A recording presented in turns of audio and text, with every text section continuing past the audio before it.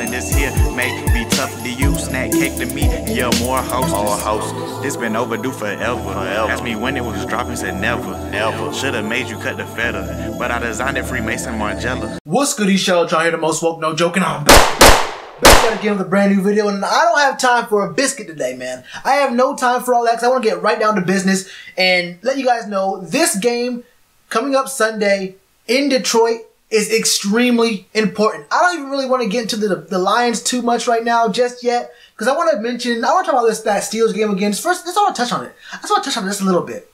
That game was embarrassing. A lot of people around the NFL were finally getting us some respect. They were finally noticing and actually acknowledging the Panthers for the first time in what seems like years. Even though we went 11 and 5 last year, people weren't really acknowledging us and really giving us any kind of respect. They haven't really looked at us in any kind of real way since we went at 15 and 1. And even in 2015, we weren't really given any kind of real respect until we were already 12 and 0 or like 13 and 0. So it was kind of a weird mixture of, you know, people acknowledging us, but not really wanting to, but they were kind of forced to acknowledge us because we were we were still undefeated, like through the late parts of the season. So like, I mean, I guess we have to give them some kind of credit. I guess at some point we have to. But right now, we're in a situation where this game isn't about the Lions at all. Honestly, the Lions are three and six. They're on a three-game losing streak. I mean, the way they look at look, look at the way their season started off. The first week of the season, they get blown out by the Jets, 48 to 17. Second week, they lose to the Niners. No, the Jets and the Niners. There's probably what six wins, maybe was it five wins between those two teams? Honestly, if it's five or six, it doesn't matter. Those teams are not very good. The Lions start off the season really bad. They beat the Patriots because you know how the coaching staff works there. Matt Patricia knows their their their offense. He had a pretty good line in on what the Patriots like to do, and like he he was an inside source on what they can do on offense and whatnot. So that was kind of a trap game for the Patriots because Matt Patricia knows them just a little bit too well. And come on now, we all know what happened there. Then they go ahead and they lose to the Cowboys. They beat the Packers somehow early in October. I think Aaron Rodgers was still hurt. And they beat the Dolphins, who are kind of a weird team right now. They look good, and sometimes they look kind of bad, but they're still over 500, aren't they? I think the Dolphins are still over 500, or are they actually 500 right now? I think they're 5 and 4. But it's a hard, it's kind of hard for me to actually say, are the Dolphins bad? Are they decent? It's a it's a weird thing. I think they're just decent right now. They have Brock Osweiler as a quarterback. It doesn't really matter. They lost to the Seahawks. They lost to the Vikings. They lost to the Bears. And I just want to frame this properly for you guys so you know how the Lions looking at this game for us. Look, they're on a three-game losing streak. A month ago, they already beat a division opponent, and in the last two weeks, they lost to two division opponents with the uh, Vikings and the Bears. They have us coming to them on Sunday, and then they have a short week. They have to play the Bears again on Thursday on uh, I think that's Thanksgiving, right? The 22nd. And that game's at 12:30. It's not even a night game. So you know how you have the, the short week? You might have a game at 1 p.m., but then the short week is you have four days, but at least the game's at night.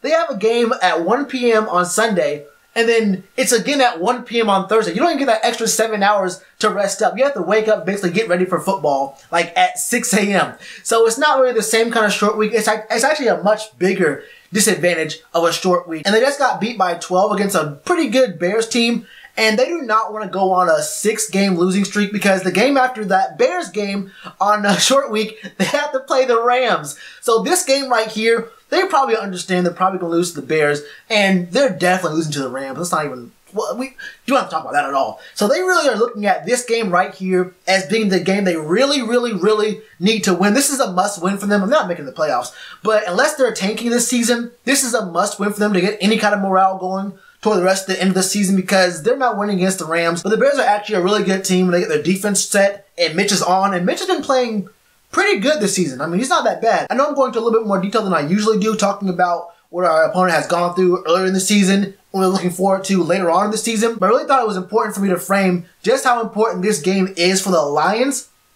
We know how important this game is for us. Look, we're six and three. We need to keep up with the Saints. We need the Saints to lose a game for the one time.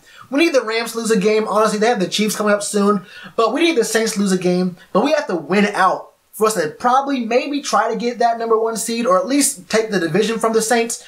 And this game is less about the Lions than it is about us getting back to what we usually do and how we usually play our games. And we have to be serious. We need to play this game angry and play this game serious because the Lions should not even be on the same field as us. Now, before I get into the actual matchup specifics here, there's just one more thing I feel like I should mention here. I looked up something kind of important about this game. I looked at what the weather's going to be like in Charlotte on Sunday. It's going to be 60 degrees in Charlotte on Sunday. But then I saw what the weather's going to be like in Detroit on Sunday. The high is going to be 35.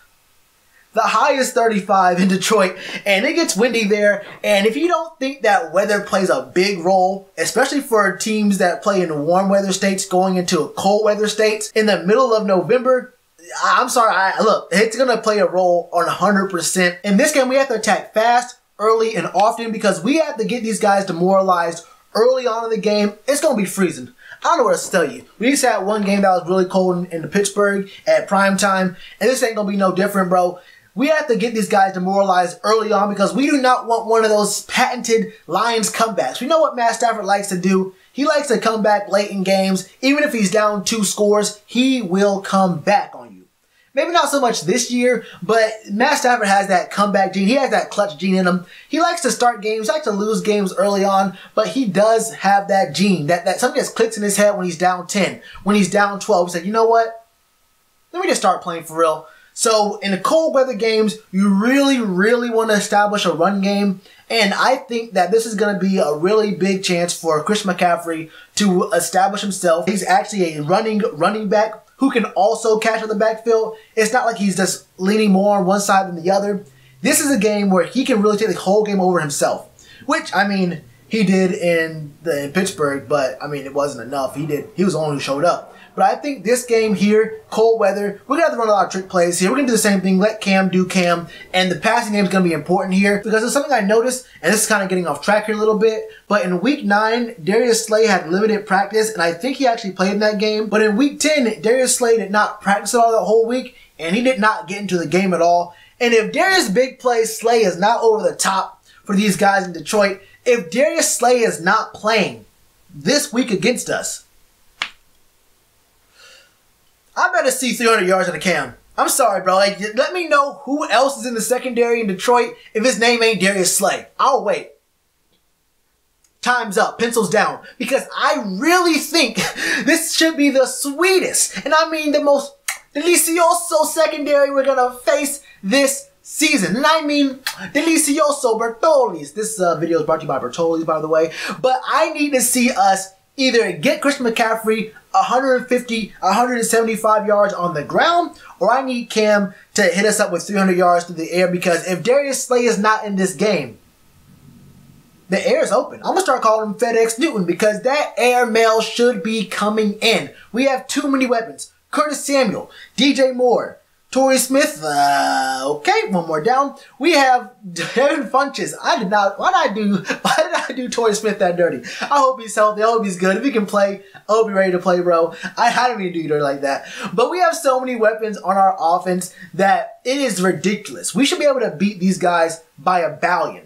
I don't I don't want to I don't care about a blowout. I want to see our O line go back to how we were playing for eight games straight, not allowing that much of a pass rush. I think the Steelers has have a really really strong and formidable pass rush. They were bringing a lot of exotic blitzes. They were bringing pressure from all different angles. They had guys switching sides on us, so our assignments were getting kind of out of whack a little bit. I do not expect our O line to play as poorly this week as they did on a short week in Pittsburgh. I'm cool with that. Now to the defense. Do not let this man, Matt Stafford, cut you up. This man, Matt Stafford, has what, 16 touchdowns, 8 interceptions? I don't want to hear it. Look at these stats, man. They're 23rd in yards per game. They're 19th in pass yards, 23rd in rush yards, at just over 100 rush yards a game, 101.1. I do not need to see these guys who are well under, and I mean well under league average, doing anything to our defense. We have way too much talent. If I told you, and I think we can all agree with this, before the season, our D line would consist of Julius Peppers, Mario Addison, Kawann Short, Dontari Poe, which I'm now on with your guys, man. I, I thought Dontari Poe was like eating up blocks for Kawann Short and that the inside was just getting like a little bit out of whack a little bit. I don't know where either one of them are. A lot of y'all talking about how Dontari Poe's been a disappointment, but I'm gonna keep it real with you. I haven't seen too much from Kawann either, and I really need to see some for both of them. I'm starting to think that Star Lotulelei was actually the glue for this D line. I mean, Mario Addison is doing his job. Mario's doing his, he's doing his thing. Big respect to Mario Addison. He's going to end up with like what? Probably 18 sacks this season. He could touch 20. Mario Addison could touch 20 this season if he really, really, really, really wanted to. But I need to see anything, and I mean anything from our interior line. Eric Washington, please. Miscommunication. That you, you must have boost know what to tell you. And that's no shot at you guys who have Boost Mobile out there. Look, man, get it how you live. Our secondary really isn't the problem. We need to stop the run. We need to get pass rush. We really need to get, let's stop the run isn't the issue here. We need a pass rush. It all just comes down to just how serious are our playoff hopes this year. Are we trying to win the division or are we just trying to get into the sixth seed and get the playoffs? I want to win this division. And I think we can. And I think we have to make a statement in this game against a bad Lions team and show, look, we got blown out last week, but we're going to come around and do what we do and make sure we get the respect back that this team actually deserves. That's just me. I don't know what y'all think about this game. What are your stat predictions? What are your score predictions? I think this game gets won by at least two touchdowns. I'm thinking maybe 14 to 30. We should win this game by at least 10 points, but I think that 14 to 30 is 100% doable here. This has to be a statement game. Uh, it doesn't matter if the league respects us or not, honestly, but we all want that respect back. We want to win this game and say, look, we are a serious team.